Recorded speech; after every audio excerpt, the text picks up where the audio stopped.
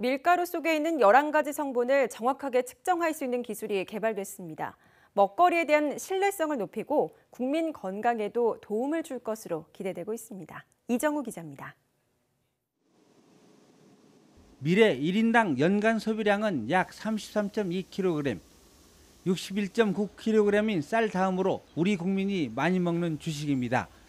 하지만 미래 자급률은 1.2%에 불과해 대부분 수입에 의존하고 있습니다. 시험기관이 수입 원료로 만든 밀가루 속 유해 성분을 제대로 검출하지 못하면 기준치를 넘는 중금속 빵이 시중에 유통될 수 있습니다. 국내 연구진이 밀가루 속 원소 함량을 정확히 분석할 수 있는 인증 표준 물질을 개발했습니다. 밀가루 안에는 여러 가지 영양 원소들을 인증을 함으로써 이를 바탕으로 우리 음식에 들어있는 여러 가지 미네랄들이라던가 그런 원소들의 정확한 함량의 기준을 제시를 하고 있습니다.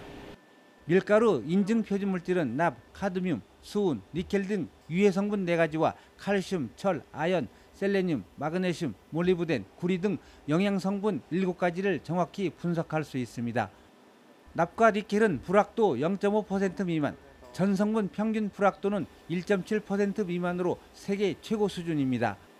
이 시험 그 분석 기관들이 내고 있는 여러 가지 그 결과값들의 신뢰성들을 크게 제고를 하게 되고요. 이를 바탕으로 해서 결국 국민 여러분들께서 좀 더 믿을 수 있는 식품을 좀 먹을 수 있는 그런 효과를 가지게 되는 거죠. 인증 표준 물질은 국내 시험 기관에 보급돼 유해 성분 검사에 대해서는 품질 관리 효과를, 영양 성분 검사에 대해서는 성분 함량의 신뢰성을 높일 수 있습니다. 세계 최고 수준의 밀가루 인증 표준 물질을 개발한 연구팀은 쌀과 영양제 등 국민 건강과 밀접한 식품 등에 대한 인증 표준 물질을 개발한다는 계획입니다. YTN 이정호입니다.